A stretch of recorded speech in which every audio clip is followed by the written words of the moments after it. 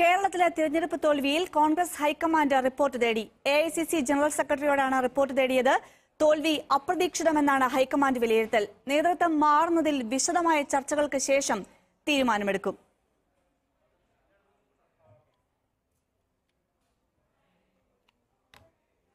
പരാജയത്തിന്റെ പൂർണ ഉത്തരവാദിത്തം തനിക്കെന്ന് മുല്ലപ്പള്ളി രാമചന്ദ്രൻ ഹൈക്കമാൻഡിനെ അറിയിച്ചു.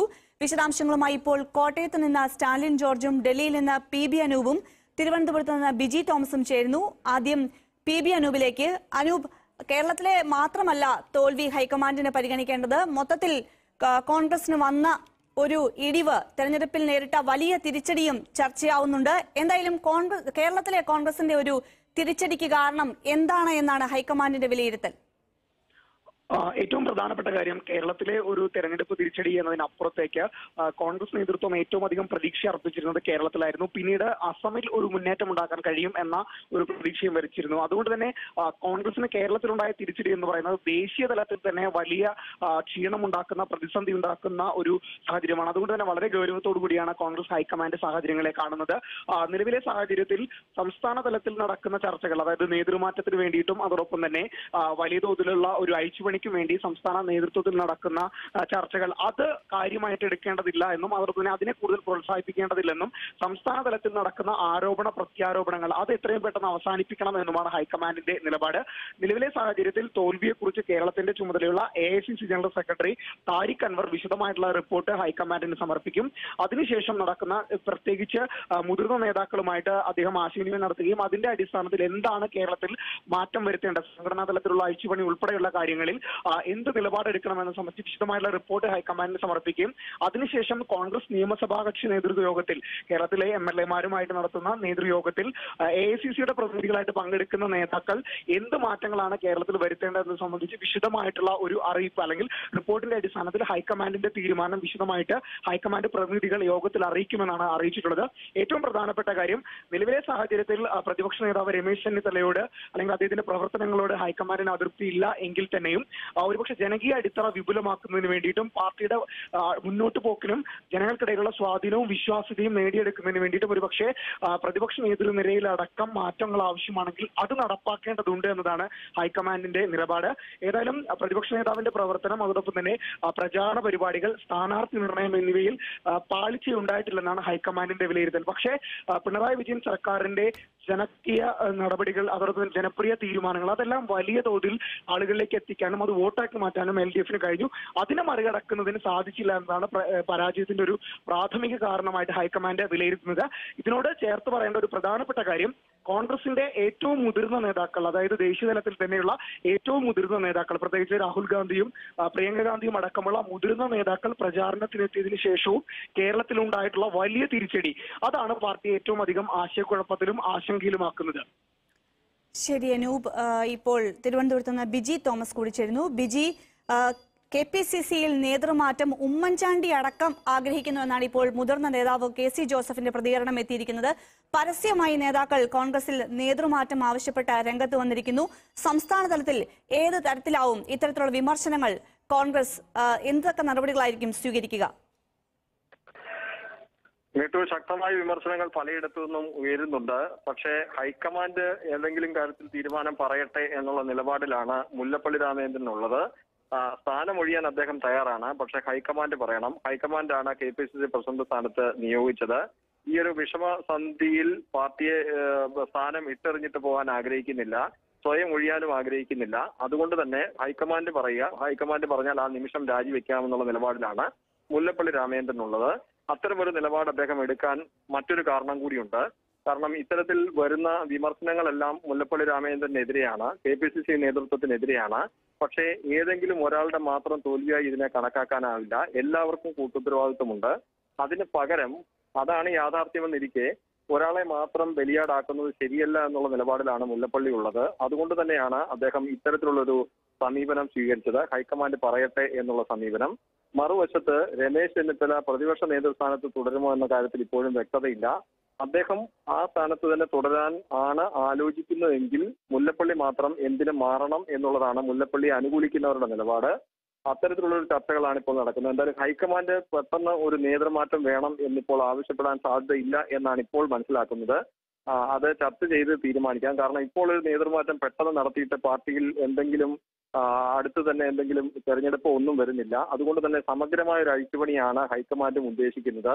ഒരുപക്ഷെ തൽക്കാലം ഇവർ തന്നെ തുടരുക. അതിനുശേഷം ആറു മാസത്തിനുള്ളിൽ ഒരു സംഘടനാ തെരഞ്ഞെടുപ്പ് പ്രതികരണമാണ് ഇപ്പോൾ കെ പി സി സി അധ്യക്ഷന്റെ ഭാഗത്തു നിന്ന് ഉണ്ടായത്.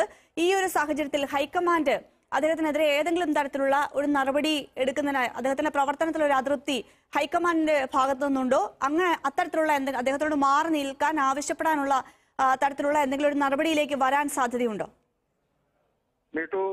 ഹൈക്കമാൻഡ് അതായത് നേരത്തെ കേരളത്തിൽ പ്രചാരണത്തിന്റെ ചുമതലയുള്ള ചില നേതാക്കൾ അതായത് ഹൈക്കമാൻഡിന്റെ ഭാഗത്തുനിന്ന് കുറെ നേതാക്കൾ കേരളത്തിൽ എത്തിയിരുന്നു അവരിൽ ചില നേതാക്കൾ അദ്ദേഹത്തോട് സ്ഥാനം രാജിവെക്കുന്നതാണ് ഉചിതം എന്ന ഒരു ഉപദേശം നൽകിയിരുന്നു. പക്ഷേ ഹൈക്കമാൻഡ് പറയട്ടെ എന്നുള്ള നിലപാടിലാണ് ഇപ്പോഴും അദ്ദേഹം ഉള്ളത് ഹൈക്കമാൻഡ് ഇതുവരെയും അത്തരം ഒരു ആവശ്യം അദ്ദേഹത്തിന് മേൽ വെച്ചിട്ടില്ല. കാരണം ഇത് ഏതെങ്കിലും ഒരു നേതാവിന്റെ മാത്രം തോൽവിയല്ല അല്ലെങ്കിൽ ഏതെങ്കിലും ഒരു നേതാവിന്റെ മാത്രം വീഴ്ചയായി ഹൈക്കമാൻഡ് കാണുന്നില്ല. മാത്രമല്ല ഹൈക്കമാൻഡിന്റെ പൂർണ നിയന്ത്രണത്തിലും നിർദ്ദേശങ്ങളും അടിസ്ഥാനമാക്കിയാണ് ഇവിടെ പ്രചാരണം നടന്നതും.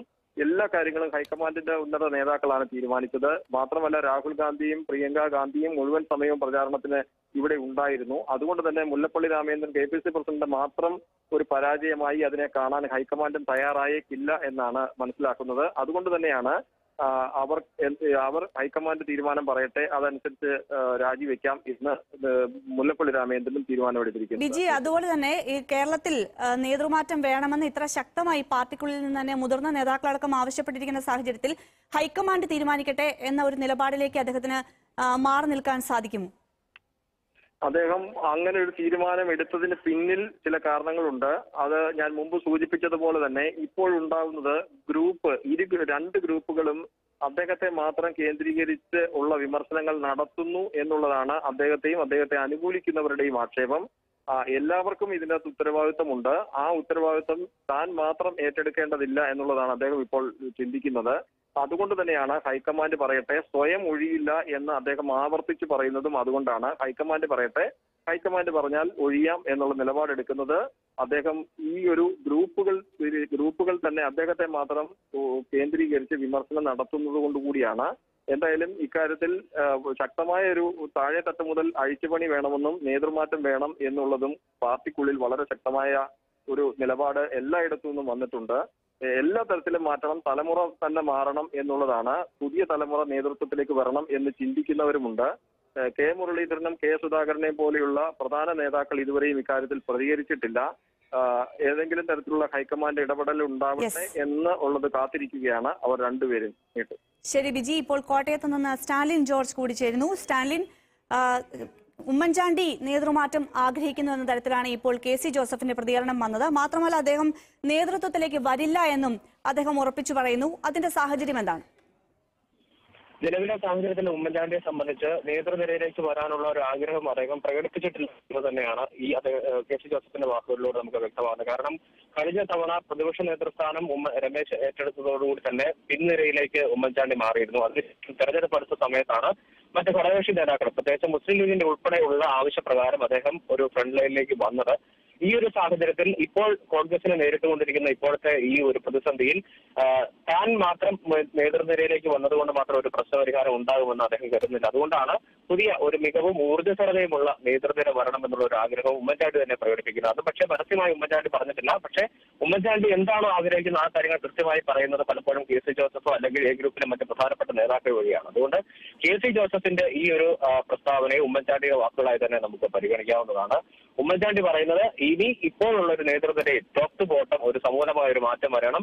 പക്ഷെ പിന്തുണയുമായി എപ്പോഴും പിന്തുണയിൽ ഉണ്ടാകും എന്നുള്ളത് തന്നെയാണ്. പക്ഷെ ഇതിനുള്ളിൽ തന്നെ മറ്റൊരു പ്രധാനപ്പെട്ട കാര്യം മനസ്സിലാക്കേണ്ടത് ഒരുപക്ഷെ ഇപ്പോഴത്തെ ഒരു പ്രതിസന്ധി പരിഗണി പരിഗണിച്ചുകൊണ്ട് കോൺഗ്രസിനെ കരകയറ്റാൻ ഉമ്മൻചാണ്ടി തന്നെ മുന്നോട്ട് വരണം എന്നുള്ള ഒരു ആവശ്യം ഇതിനെ ഉയർത്തിക്കൊണ്ട് വരുന്നതിന് വേണ്ടിയാവാം ഒരു പരിധിവരെ ഇപ്പോ ഇപ്പോഴത്തെ പ്രസ്താവനകൾ എന്നും വേണമെങ്കിൽ വ്യാഖ്യാനിക്കാവുന്നതാണ്. പക്ഷേ എങ്കിൽ പോലും ഉമ്മൻചാണ്ടിയുടെ ഇപ്പോഴത്തെ ഒരു ആരോഗ്യ അവസ്ഥയൊക്കെ പരിഗണിച്ച് നോക്കുമ്പോൾ അദ്ദേഹം ഇനിയൊരു സ്ഥാനം ഏറ്റെടുത്ത് പാർട്ടിയെ നയിക്കാൻ മുന്നോട്ട് വരാനുള്ള ഒരു സാധ്യത കുറവാണ്. അതുകൊണ്ട് തന്നെ കൂടുതൽ മികവും ഊർജസ്വലതയുമുള്ള നേതാക്കൾ മുന്നോട്ട് വരണം. ജംബോ കമ്മിറ്റികൾ പിരിച്ചുവിടണം. മാത്രമല്ല കെ സി ജോസഫിന് ഉയർത്തിയ ഒരു പ്രധാനപ്പെട്ട വിമർശനം റിബലായി മത്സരിക്കുന്ന ആളുകൾക്ക് സ്ഥാനമാനങ്ങൾ നൽകി അവരെ അനുനയിപ്പിക്കുന്ന രീതി ഒട്ടും യോജിക്കുന്ന ഒരു കാര്യമല്ല. കാരണം ഇത്തരത്തിലുള്ള ഒരു പ്രവണത തുടർന്നു കഴിഞ്ഞാൽ വരുന്ന ദിവസങ്ങളിലും അല്ല വരുന്ന കാലങ്ങളിലും ഇതുപോലെയുള്ള ആവശ്യങ്ങൾ ഉയർത്തി ഒട്ടേറെ പേർ രംഗത്ത് വരും. അവർക്കൊക്കെ സ്ഥാനമാനങ്ങൾ നൽകേണ്ടി വരും. ജംബോ കമ്മിറ്റികൾ ഉള്ളതിന്റെ പ്രധാനപ്പെട്ട പ്രശ്നം ഒരു കമ്മിറ്റിയിലും ഒരു കാര്യം അവതരിപ്പിച്ച് കൃത്യമായ ഒരു തീരുമാനം നടപ്പാക്കാൻ ഇതുവരെ കഴിഞ്ഞിട്ടില്ല. പലപ്പോഴും ഇത്തരത്തിലുള്ള സമ്മേളനങ്ങൾ നാനൂറും അഞ്ഞൂറും പേരും ചേർന്ന കമ്മിറ്റികളുടെ സമ്മേളനം നടന്ന് ആ സമ്മേളനം പിരിയുന്നു അതിനുശേഷം ഒരു ബ്രീഫിംഗ് നടക്കുന്നതിനപ്പുറം കാര്യങ്ങൾ ഫലപ്രദമായി നടപ്പാക്കാൻ കഴിയുന്നില്ല. രാഷ്ട്രീയകാര്യ സമിതിയിൽ മാത്രമാണ് എന്തെങ്കിലും ഒരു കാര്യങ്ങൾ പറയാനോ അല്ലെങ്കിൽ അത് നടപ്പിലാക്കാനോ ഉള്ള ഒരു സാഹചര്യമുണ്ട് അതുകൊണ്ട് ഇത്തരത്തിലുള്ള ജംബോ കമ്മിറ്റികൾ പിരിച്ചുവിടണം. മാത്രമല്ല അനാവശ്യമായി ഇത്തരത്തിൽ പാർട്ടി സമ്മർദ്ദത്തിലാക്കുന്നവരുടെ ഇംഗിതങ്ങൾക്ക് വഴങ്ങിക്കൊണ്ട് അവർക്ക് സ്ഥാനമാനങ്ങൾ നൽകുന്ന രീതികളും അവസാനിപ്പിക്കണമെന്ന് പറയുന്നു. ടോപ്പ് ടു ബോട്ടം ഒരു നേതൃനിലയിൽ അതായത് കെ പി സി സി പ്രസിഡന്റിന്റെ അധ്യക്ഷ K P C C president സ്ഥാനം ഉൾപ്പെടെ പ്രതിപക്ഷ നേതാവിന്റെ സ്ഥാനം ഉൾപ്പെടെയുള്ള ഒരു മാറ്റമാണ് പാർട്ടിയിൽ ഇപ്പോൾ അനിവാര്യമെന്നും അദ്ദേഹം പറഞ്ഞു വയ്ക്കുന്നു ശരി സ്റ്റാലിൻ എന്തായാലും കോൺഗ്രസിന്റെ തെരഞ്ഞെടുപ്പിലെ തിരിച്ചടിക്ക് പിന്നാലെ കോൺഗ്രസിന്റെ സംഘടനാ തലത്തിൽ മാറ്റം ആവശ്യപ്പെട്ട് മുതിർന്ന നേതാക്കൾ തന്നെ രംഗത്തെത്തിയിരിക്കുന്നു. ഈ സാഹചര്യത്തിൽ കൂടുതൽ ചർച്ചകൾക്കാണ് ഇനി വരും ദിവസങ്ങളിൽ കോൺഗ്രസിന് സംഘടനാ തലത്തിൽ നേതൃത്വം നൽകേണ്ടി വരിക.